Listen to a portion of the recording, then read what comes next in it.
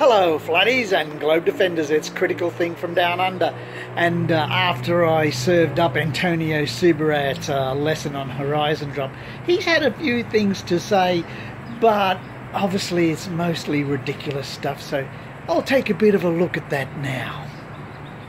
Now Antonio put out another video after that and uh, this is how he tried to weasel his way out of the obvious conclusion from that experiment, which is that the Earth is a globe.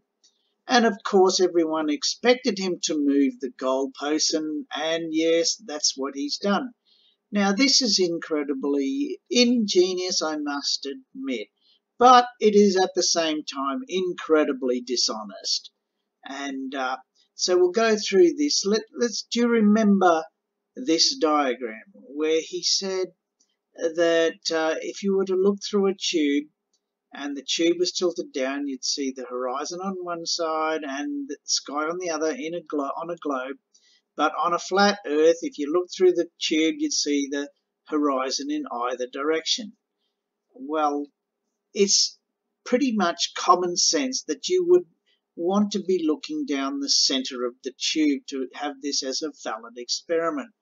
But of course, Antonio didn't say that in his original video, and now he's taken advantage of that to move the goalposts and to create an absolute ridiculous situation, which the experiment doesn't mean anything at all, and I'll show how that's done. Now, Antonio has very deceitfully altered the original experiment so that it's no longer capable of distinguishing a flat from globe. And so that if you do use do the experiment and uh, find that the earth is a globe which you will then um, he can uh, he has uh, manipulated the success criteria for flat earth so that he can claim the earth is flat even though it is indeed a globe by his own experiment. So he's drawn this diagram here and uh, he's not insisting that you look straight down the tube on a flat earth. He's saying that you can see, uh, if you can see the horizon in both ends of the tube, no matter what the camera angle is, then the earth must be flat. This is, of course, totally absurd but uh, this is what he must do. He must uh, resort to dishonesty to uh, make uh, the outcome of the experiment fit what his narrative is.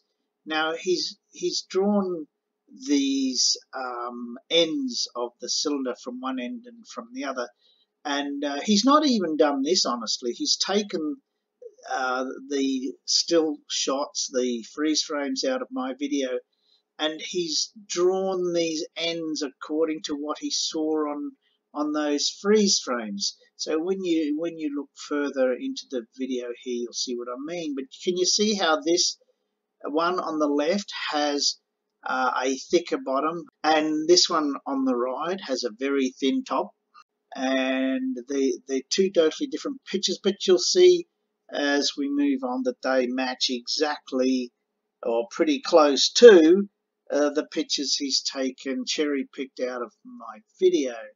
So it's it's not an honest representation of what he's looking for.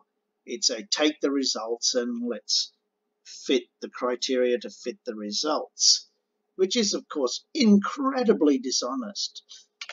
And here's uh, the um, looking south. Now you'll notice that he, he's cherry picked a frame here that the horizon in the tube is a little bit above center. Uh, so he's tried to get as much in favor as he can by cherry picking that particular frame. And then, of course, the other one is an obvious cherry pick. Uh, with the camera angled down through the tube as I was moving the camera around to try and get it centered in the cube he's taken advantage of that and very dishonestly uh, taken a shot that's angled down through the tube. So what this effectively means is that um, no matter how, how high you go, Uh, all you need is a bigger tube or a shorter tube, and it doesn't matter how much horizon drop you've got, by this criteria, the Earth will always be flat. Now, of course, that's a totally uh, dishonest, a ridiculous, stupid approach. What turned out, what was a very good experiment in the beginning, he's bastardized it um, because it didn't turn out the way he wanted. So uh, these are the, this is uh, a cherry pick of my own, which I've tried to get the shot with the uh, horizon as close to the middle with equal amount of tube top and bottom and this is the one that he should be using because it's the closest to a center line down the tube. And of course the other one he could very easily have picked this frame uh, with an equal amount of tube the top and bottom which clearly shows that there's just sky through the tube clearly shows that there's a horizon drop right there but no, he's drawn uh, this diagram and uh, you'll notice, like I said, the ends of the tube, you can look down through any angle through the tube and uh, if you see water, horizon, it doesn't need to be water, but it is in my case. If you look down through the tube at any angle, if you see the horizon, the Earth is flat, but of course it's not. Let's look at the geometry of the situation that Antonio has described. Now the blue lines are my, is my tube with another blue line down the center. The height or the diameter of the tube there is h, the length of the tube is l, and y is the distance that the camera is behind the tube. So this angle that you can see the horizon through is uh, calculated by tan of the angle is the height over the length of the tube and the distance you are behind the tube. So this could so this angle here you this is the field of view that you're allowing your horizon to be in, uh, which is um, if you want to determine that it's flat, that's totally absurd because remember this line here is your line of sight. Uh, it's pointing at the horizon uh, at the other at the other horizon on this side and you're looking down the tube to the another horizon. If the earth was flat, uh, the horizon should be here. But no, Antonio thinks that it can be anywhere in this uh, area that you can tilt the camera to, which is obviously an absurdity and a contradiction of the horizon rising to eye level.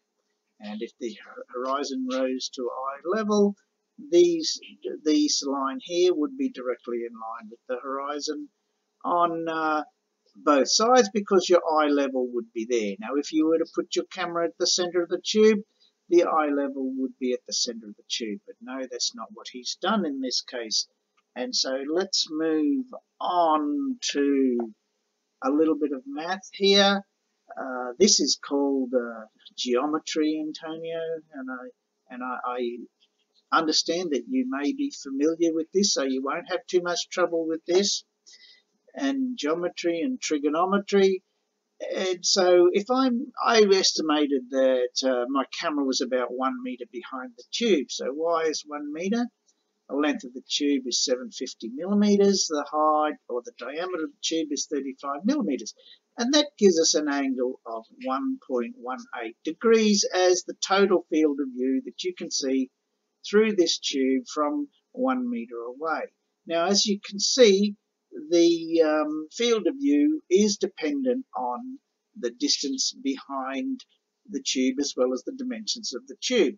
So if you want to use this criteria for determining if the Earth is flat or not, you can be dishonest about it and um, uh, manipulate the dimensions of the tube and how far away you are behind and and you can adjust these things until you can see any horizon that you can observe on a, on on our globe Earth uh, and you can see it through the tube. I mean, just imagine if you had a tube that was six inches in diameter. Uh, you could see almost down to the bottom of uh, the hill you were standing on. So you can, this is uh, an absurd and totally dishonest way of determining flat Earth. Um, because if the Earth were flat, the horizon would be along the eye level line and, and not with this dip angle here, which in, the, in this case, it could be as much as 1.18 degrees. And the whole point of the experiment is to, is to prove that the horizon does not dip. So you cannot allow the camera to tilt like that. Antonio, you're an idiot.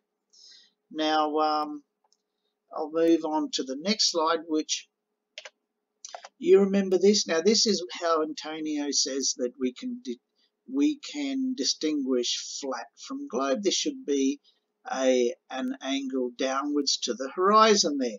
Now, if you look through your tube, and you can look down at a 1.18 degrees in my case, then how are you going to tell the difference between flat and globe? Well, no, that defeats the whole purpose of the experiment. But Antonio had to do this because the experiment didn't turn out the way he wanted. So he had to make it invalid. Now, the, this, the expected drop in this case uh, was I've worked out as 0.3 degrees. So he, this is not to scale, of course, it's for illustration, but that's a scale there of approximately 38 times. So if I drew overlay on that, this is uh, the red line here is what it would look from if I stood two meters behind my tube, then uh, in relation to 0.4 uh, 0.3 degrees. This is what on this scale this line would look like. And one meter behind my tube, this blue line is what it would look like. So if you're trying to think that, if you're trying to demonstrate the Earth is flat, what Antonio is saying is that you can see a one horizon on this side along this line and another horizon. If you can see another horizon along this line, the uh, he's saying that the Earth would be flat. Well, anyway, we've I'm, I'm going to now demonstrate how Antonio has proved the globe. He's cherry-picked this observation. You can clearly see that the horizon is in the center of the tube. So if we do the maths on that, yeah, I've drawn a red line where he's looking through the tube with the camera uh, roughly at the top. So let's see, the camera is like it almost at the top of the tube, looking down through the center. The horizon is at the center of the tube. So the angle in this case is half that angle there, which is 0.59 degrees. Now this represents two times the horizon drop because the remember the other end is pointing at the horizon and this end is pointing up. So 2 times the horizon drop is 0.59 degrees. That means we, Antonio here has measured a horizon drop of 0.295 degrees and the horizon drop that we expect from this height of 97 meters is 0.318 degrees. So thank you Antonio for proving the globe.